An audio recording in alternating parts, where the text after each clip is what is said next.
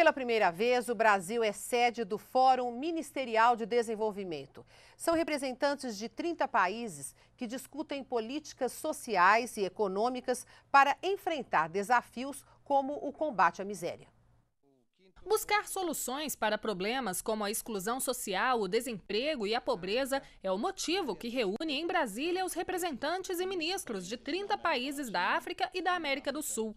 O Brasil foi escolhido pela primeira vez pelas Nações Unidas para sediar o fórum, que até então acontecia em Nova York, nos Estados Unidos, por se destacar na implementação de políticas sociais. O Brasil tem muito para, para uh, compartilhar com, com o resto do mundo, tem políticas públicas que foram um sucesso, que são reconhecidas. Então esse fórum vai ser a ocasião de trocar essas boas experiências, aprender de todos e sobretudo aprender do Brasil. Então vão ser trocadas essa experiência e você vai fazer uma uma compilação né, da, de, dessas experiências para depois uma difusão mais mais ampla. No discurso de abertura, a secretária-geral adjunta da ONU, Ellen Clark, destacou programas brasileiros como o Bolsa Verde e o Bolsa Família para a redução da desigualdade. E o ministro Antônio Patriota Patriota falou da importância de continuar fortalecendo a cooperação Sul-Sul, que envolve os países africanos e da América Latina. O Brasil aposta na união entre o equilíbrio macroeconômico